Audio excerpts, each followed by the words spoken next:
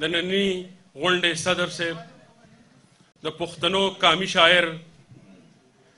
رحمت شاه سائل صاحب له بزو داغه په دې شعرونو مایک ته دراتلو بلنه ورکوم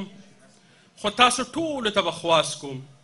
چې زه کله په هغه کې پښتون یم او پښتون یم وایم تاسو ټول به را سره وایي چې پښتون یم پښتون یم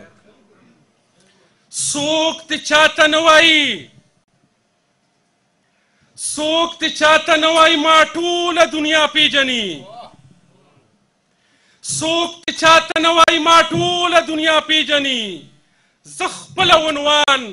خپل مضمون یم پښتون یم پښتون یم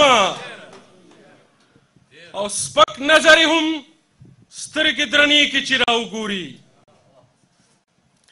سپک نظر هم سترګې درنې کې چې راوګوري زه خدای زیږولی داسې درون یم پښتون یم پښتون یم مونږ سندرې نه وایو محبوبې د پردو سترګو مونږ سندرې نه وایي محبوب د پردو سترګو زه د پښتنو سترګو مجنون یم پښتون یم پښتون یم په دې شعرونو باندې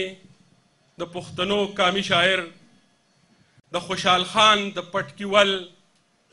د احمد شاه د توري شړنګ د ملالای ټپا